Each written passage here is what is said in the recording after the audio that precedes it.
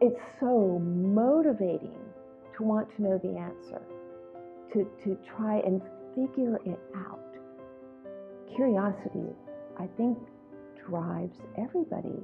It's absolutely compelling.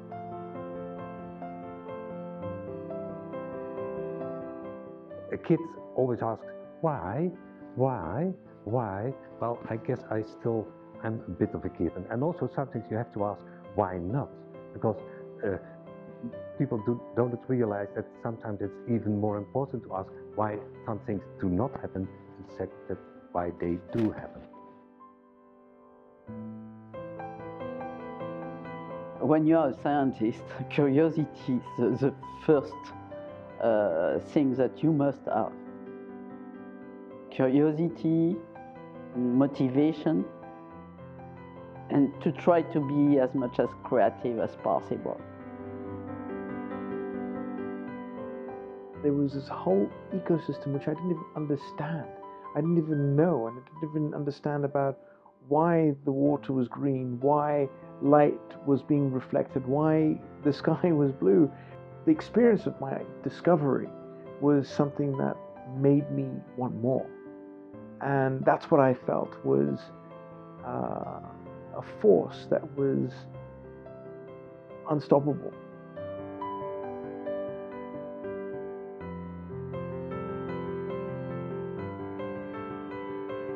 So it's fascinating.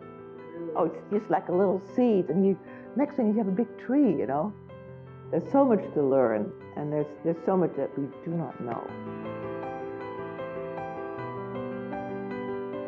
What is the brain? How does it operate? What is it really there for?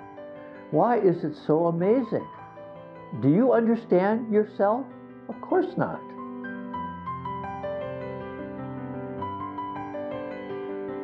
I have intrinsically a monstrous level of curiosity that drives me in almost everything I do academically. You know, you have to be curious because you need to understand a lot of factors to understand a community's health.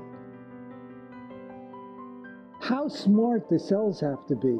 How many things is, is it evolutionarily useful for a cell to know how to do? Curiosity is ultimately what makes us, you know, scientists. And uh, you know, we we are trying to understand how things work.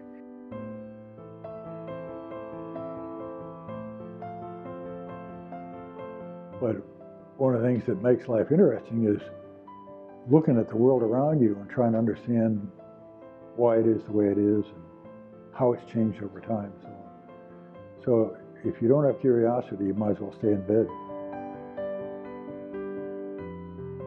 I was curious about things. I wanted to, to um, learn more, and I went to the library to read what was not in the textbooks of high school to understand, uh, for example, biochemistry or even languages.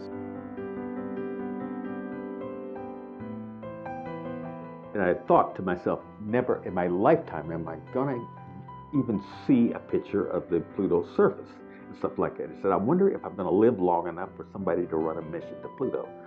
And they did.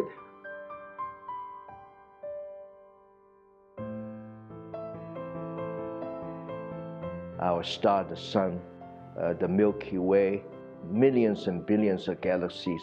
What are the possible living organisms beyond that physical uh, entities that we now think about?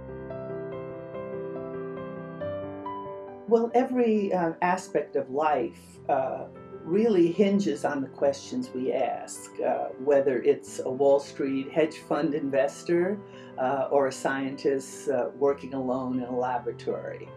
If we don't question our lives, uh, they probably can't be meaningful to us or to others.